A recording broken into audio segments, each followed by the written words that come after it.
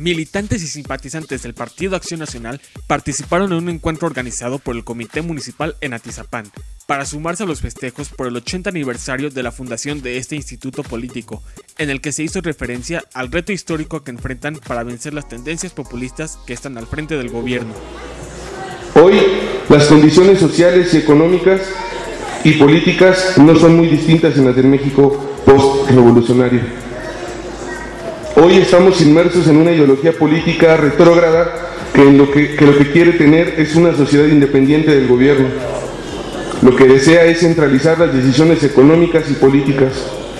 Prefiere construir un México volteando al pasado que un México con la fuerza para vivir hacia el futuro. Esta ideología no es otra sino la misma a la que el PAN ha enfrentado durante toda su historia. Es otro PRI pero con otro nombre.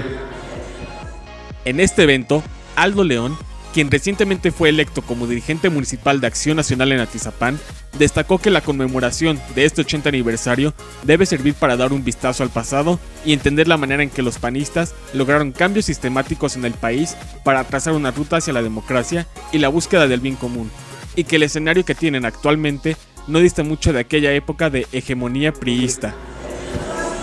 Este evento también es para recordarnos que si en el pasado logramos mover las almas y convencer de la política humanista a México y a Tizapán, seguramente, y que no les quede duda, lo volveremos a hacer en el 2021. Todos somos parte de la solución, somos parte de la cura. Es importante que entendamos hoy este punto que quiero transmitirles. Somos parte del reto histórico de México y de nuestro municipio. En dicho encuentro, se contó con la participación especial del senador y exdirigente nacional de ese partido, Damián Cepeda, quien destacó que Acción Nacional requiere actualmente de congruencia, ya que su manera de actuar debe ser paralelo con los principios establecidos en este partido político, sobre todo de sus representantes populares, para que los mexicanos comprendan nuevamente la manera de gobernar y hacer política en el PAN. Yo sé que hoy se ve invencible Andrés Manuel, no lo es. No lo es. Hoy lo vemos enorme. Si saben que el nivel de popularidad que tiene Andrés Manuel en este momento es idéntico al que tenía Felipe Calderón o Fox en este mismo mes, en este mismo momento de su gobierno.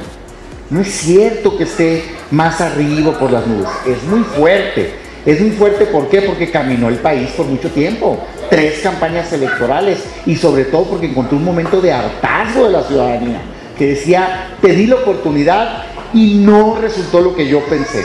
Y no estoy diciendo que hayamos tenido malos gobiernos, ¿eh? de hecho fueron bastante buenos los gobiernos del PAN.